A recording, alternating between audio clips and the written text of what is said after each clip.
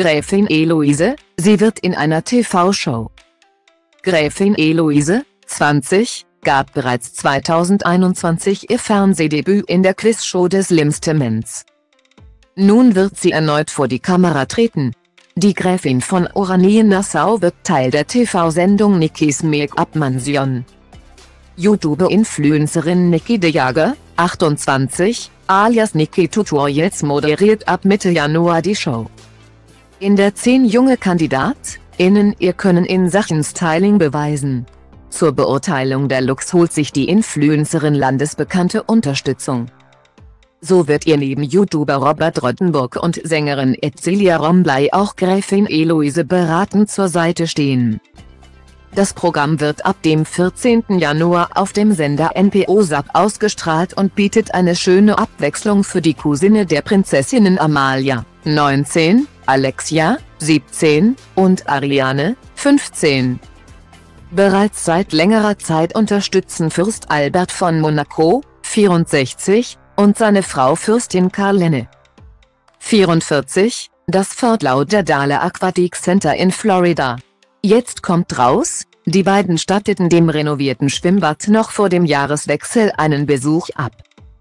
Dabei wurde das Monegassenpaar mit großer Freude von dem Bürgermeister der Stadt empfangen. Er betonte die Relevanz ihres Besuches und bezeichnete ihr Kommen als Zeichen für Fort Lauderdale. Eine internationale Stadt zu sein. Auch Fürst Albert betonte die gute Beziehung zwischen Monaco und Amerika. Als Zeichen der Verbundenheit wurde dem Fürsten der Schlüssel der Stadt überreicht. Vor allem eine schien sich besonders für den Besuch in der Schwimm- und Trainingsanlage zu interessieren, als ehemalige Schwimmerin hat Fürstin Karlene eine ganz besondere Verbindung zu diesem Ort. Die vergangenen Monate waren nicht leicht für die dänische Königsfamilie.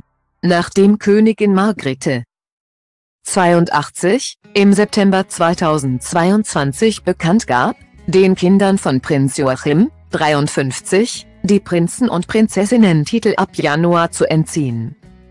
Kam es immer wieder zu Reibereien. Ende letzten Jahres haben sich Joachim und seine Familie daher eine Auszeit genommen.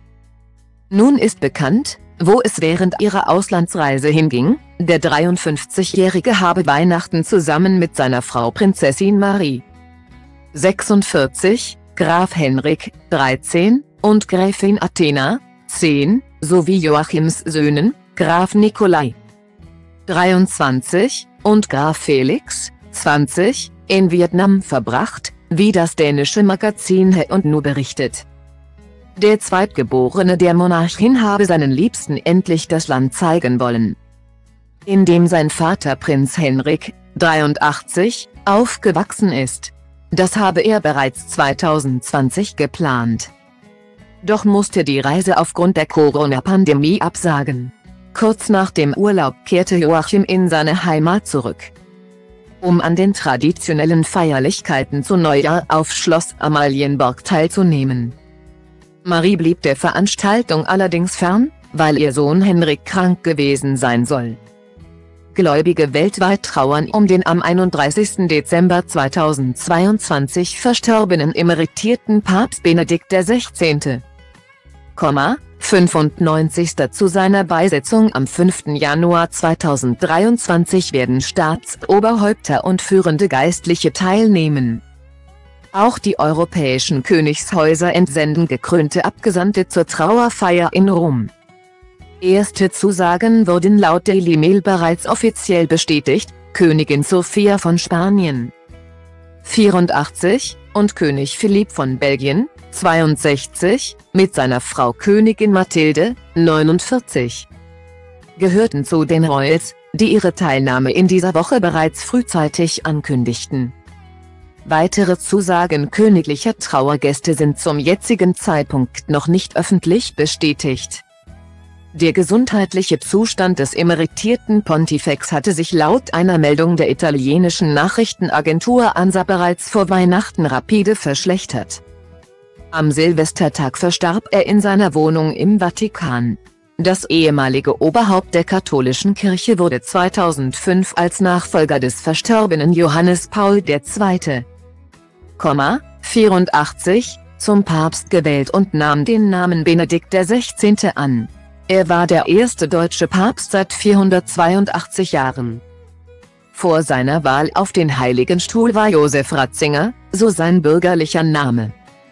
Als Kardinal 23 Jahre lang Leiter der Glaubenskongregation im Vatikan. 2013 trat er überraschend von seinem Papstamt zurück. Von diesem Zeitpunkt an lebte der emeritierte Pontifex in einem früheren Klostergebäude in den Vatikanischen Gärten. Im Zusammenhang mit ihrer Stiftung, dem Maryfonen, hat Prinzessin Mary, 50, auf das zurückliegende Jahr zurückgeblickt und die Herausforderungen des Ukraine-Krieges thematisiert, 2022 war das Jahr, in dem wir fast aus dem Schatten herauskamen, den Corona über die ganze Welt geworfen hatte. Begann die dänische Kronprinzessin laut Billedbladet in einer Weihnachts- und Neujahrsansprache. Die Frau von Prinz Frederik, 54, fuhr fort, das Jahr war allerdings noch nicht so alt.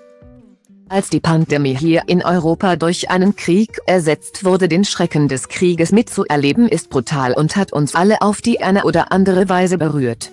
Anführungszeichen. Die Stiftung der Kronprinzessin wolle nur neben vielen anderen Projekten mit einem weiteren Vorhaben den Menschen in der Ukraine helfen, mit Spenden soll die Kinderhilfsorganisation Burnsville Chorus unterstützt werden. Die in Dänemark ein Krisentelefon für geflüchtete ukrainische Kinder eingerichtet habe. Wir freuen uns, dass die Spende dazu beigetragen hat, dass ukrainische Kinder eine Anlaufstelle haben, wo sie gehört werden und in ihrer schwierigen Situation, sowohl in der Ukraine als auch in Dänemark, konkrete und gute Ratschläge erhalten können. Erklärte Mary. Auch das Thema Einsamkeit sprach sie in ihrem Rückblick an, wir bekämpfen die Einsamkeit. Wenn wir in sicheren und offenen Gemeinschaften zusammenkommen, die auf dem Vertrauen und der Fürsorge beruhen. Die wir alle brauchen, betonte Prinzessin Mary. Es ist nicht nur das erste Mal seit drei Jahren, dass die japanische Kaiserfamilie wieder persönlich ihre Neujahrsgrüße dem Volk sendet. Die Tradition musste aufgrund der Corona-Pandemie drei Jahre ausfallen. Auch Prinzessin Aiko 21, die 2021 ihre Volljährigkeit feierte, gibt ihr Debüt und darf erstmals mit vom Balkon des Koba den Palast des in Tokio winken. Tausende haben sich am Montag, 2. Januar, auf dem Weg nach Tokio gemacht, um dem traditionellen Auftritt der Kaiserfamilie beizuwohnen. Nach drei Jahren freue ich mich sehr, das neue Jahr mit Ihnen allen zu feiern. Sagt Kaiser Naruhito, 62, nach Angaben der Nachrichtenagentur Kyodo News hinter Glasscheibe und Schutzmaske zum Volk. Er wünsche sich, dass dieses Jahr ein friedliches und gutes Jahr für sie alle sein wird. Die gut 7300 BesucherInnen, die zum Palast strömten, um auch Prinzessin Eikos ersten Neujahrsgruß zu sehen, wurden per Losverfahren ausgewählt.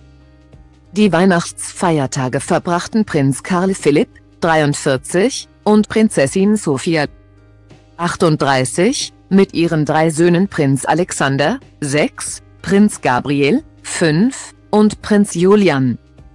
1, bei Sophias Eltern Marie, 65, und Erik Helfwist, 73, im Heimatort Elfdalen, fünf Autostunden von Stockholm entfernt. Und von der einen ländlichen Idylle ging es zum Jahreswechsel in die nächste, den Jahreswechsel feierten die Schweden Royals nach Angaben der Zeitung Svensk Damtidning in Storlien in der Provinz Jämtland. Hier verbrachte die Königsfamilie schon etliche schöne Stunden in der winterlichen Natur fuhr Ski oder wärmte sich im Anwesen von König Karl Gustav, 76, und Königin Silvia, 79, auf. In dem beliebten Skiort tobte sich Karl Philipp bereits in Kindertagen auf dem Schlitten aus. Wie alte Familienaufnahmen zeigen. Und in diese besondere Gegend hatte es ihn nun auch zu Silvester mit seiner Familie verschlagen. Eine schöne Familientradition, die der Prinz jetzt mit seinen Kindern teilen möchte. Die Kinder von Prinz Joachim, 53, beginnen das Jahr als Grafen und Gräfin. Nach der Entscheidung ihrer Großmutter Königin Margrethe, 82, dürfen Nikolai, 23, und Felix, 20, sowie ihre Halbgeschwister Henrik, 13, und Athena, 10, seit dem 1. Januar nicht weiterhin ihre Prinzen- und Prinzessinnentitel verwenden, sondern sind fortan Grafen und Komtesse von Montpezat. Vor Anbruch dieses neuen Kapitels feierten Nikolai und Felix noch ein letztes Mal als Prinzen Silvester. Prinz Nikolai feiert mit Freunden in Dänemark, und Prinz Felix feiert mit guten Freunden im Ausland. Erklärte die Sprecherin ihrer Mutter, Gräfin Alexandra, 58, gegenüber Bildbladet. Der Illustrierten zufolge soll Nikolai an seinem letzten Abend als Prinz auch seine Freundin Benedikte Tostrup an seiner Seite gehabt haben. Sie haben News verpasst, die Royal News der letzten Woche lesen Sie hier. Verwendete Quellen, Jodonivsnet, Dana Press, Svensk Damsee, Bildbladet. DK, Cook, Heognu DK, Instagram.com